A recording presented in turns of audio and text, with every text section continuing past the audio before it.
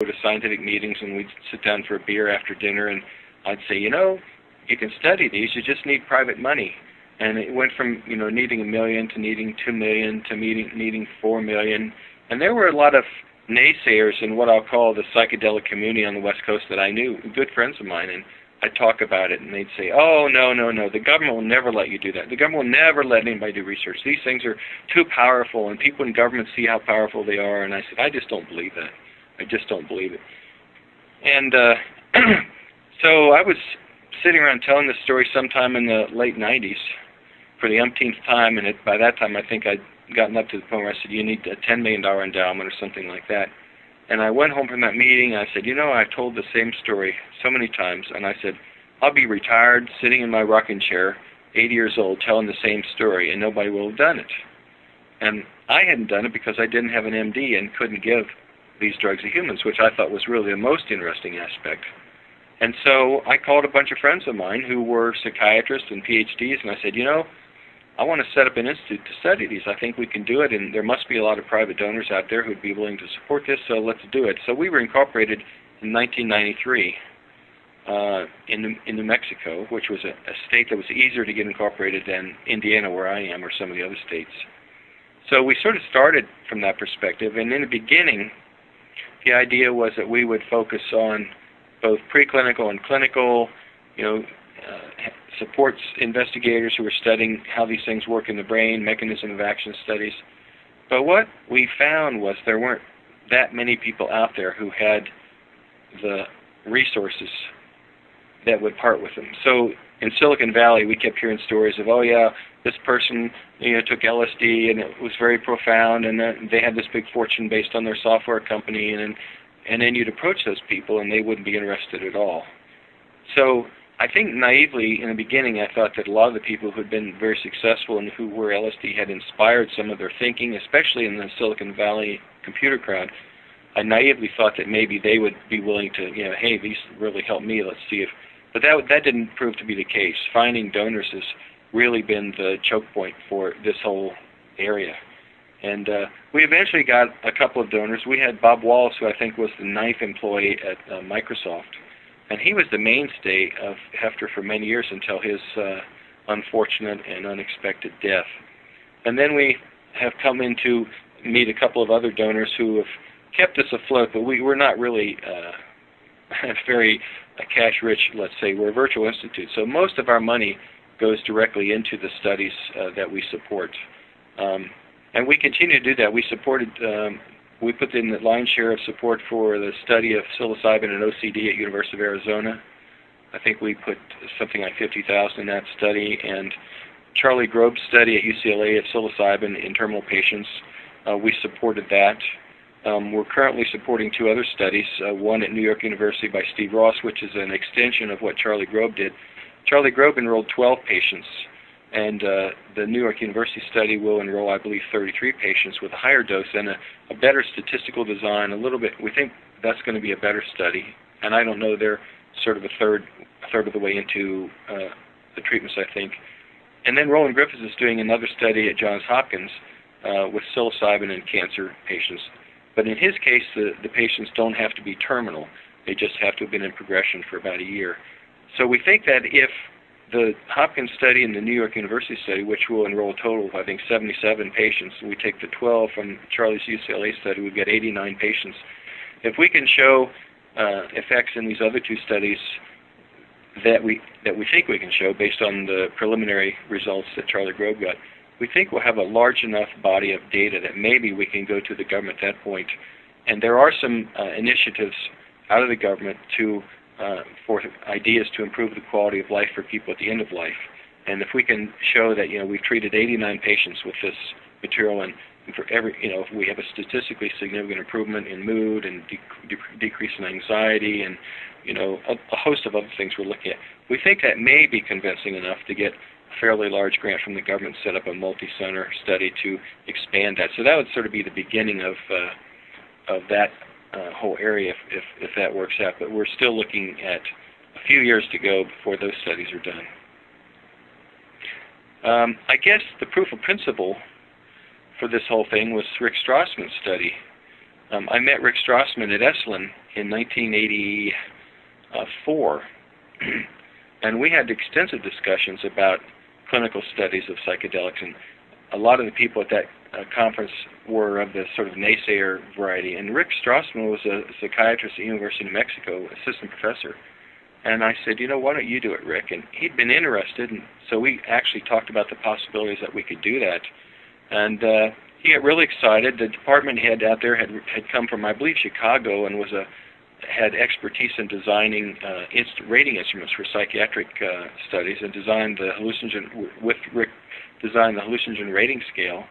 And uh, he gave, you know, as you may know, gave DMT to human volunteers intravenously and uh, wrote this book, DMT, the Spirit Molecule. There's now a movie that's been completed that'll be out sometime uh, in the near future, DMT, the Spirit Molecule.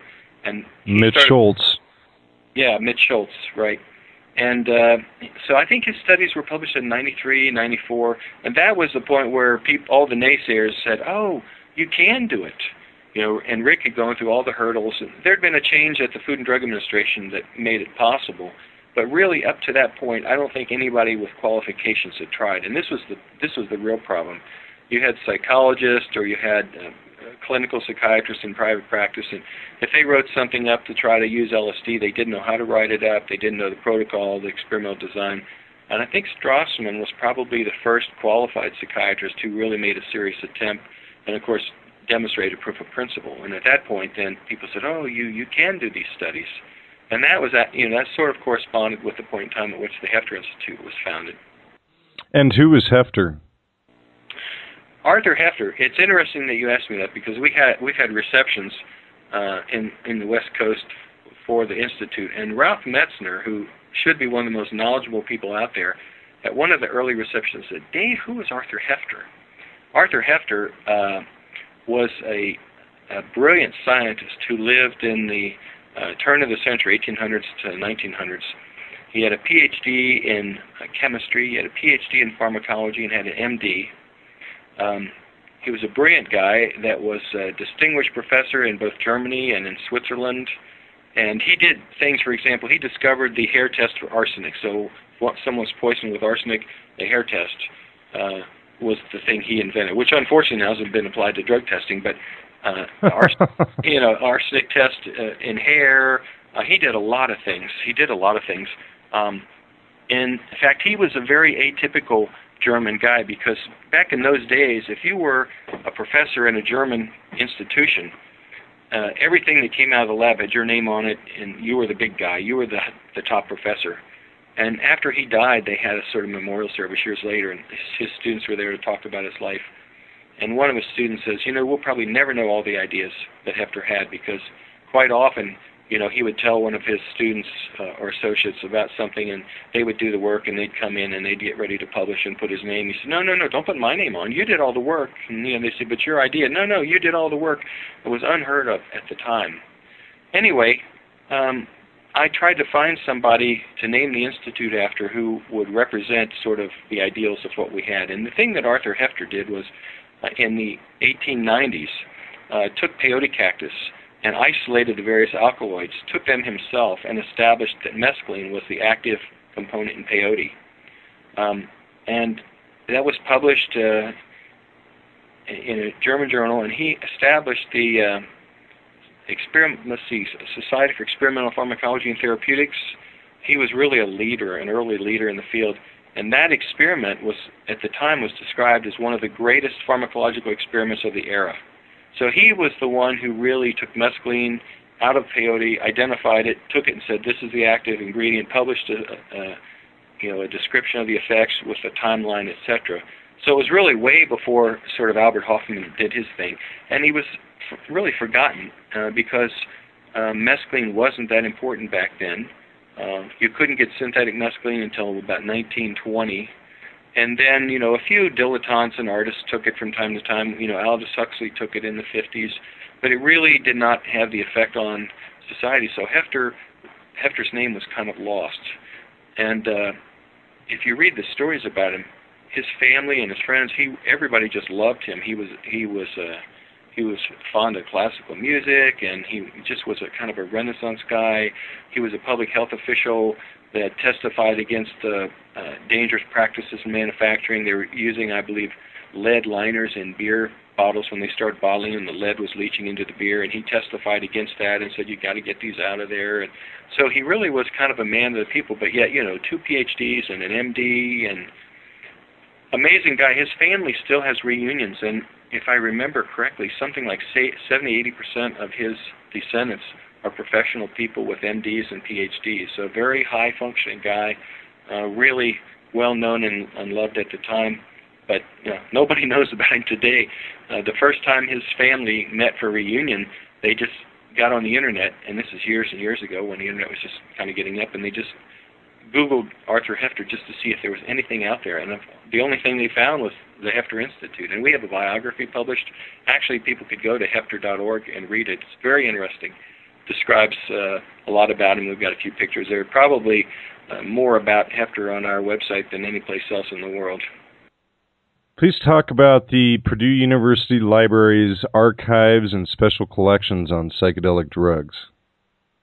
Yeah, that's an interesting one. Um, one of the board members on Heffter, it came, it, she sort of realized, like, if people want to research psychedelics, where would where do they go? Where's the where's the information? I said, well, it's all over. You know, it's in journals. so That's she, the truth.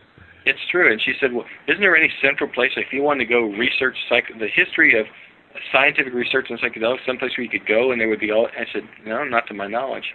And so she decided that she would do that. And um, she came, Purdue is an unlikely place to do it, I might add. Purdue, of course, is in the middle of the Midwest, very conservative place, an engineering and agriculture school, land grant college. Um, the liberal arts tradition here is is uh, pretty flimsy, uh, just because I think it's a land grant college that was established to study agriculture and engineering. And uh, I said, "Wow," I said, "You know, it's kind of an unlikely place to do it." And she said, "Well, I can go someplace else." But she says, "You're you're one of the leaders in the field, and you know you're there, and it seems like it would make sense to do it at Purdue." So I said, "Well, okay." And I was pretty hesitant at first, um, and she met and said, you know, I'm going to put some money in here and let's see if we can make this happen. And so we started collecting things. Unfortunately, so many things now are becoming digital and hard copies are so hard to find, but we're still collecting. We have a lot of papers from the early years. We're still trying to collect papers from the early years. And the distinction for this archive is there's so many things about the turbulent 60s and Timothy Leary and all that stuff. We said, let's just focus on the scientific end of it. Let's find the, the people that have done, you know, research, you know, such as it was back then and into the present time, and start this collection so that there'll be a place where people want to study this field, they can go. And I, I really see it now. If if the things that Heffter's doing, and you know, MAPS just finished a Rick Doblin MAPS just studied finished a study using MDMA and uh, PTSD. It's online now. It's officially been published where they showed dramatic effects with MDMA and in uh, PTSD patients. So they're going to expand that, I know. And it may it may well, it's my hope, it may well be that uh, as these studies start to gain some momentum, if our studies in, in New York University and Johns Hopkins are are successful and demonstrate efficacy like we think they will, that there'll be sort of a, a, a momentum will start to build and this will develop into a field of psychiatry, maybe a special field of psychiatry. And then people may say, well, you know, how did this get started? When did it get started? And actually, this archive has been going on for a few years now. This would be the place where we would hope that a lot of that stuff would be documented. Uh, a lot of the correspondence and letters and things might be here. All my stuff I've told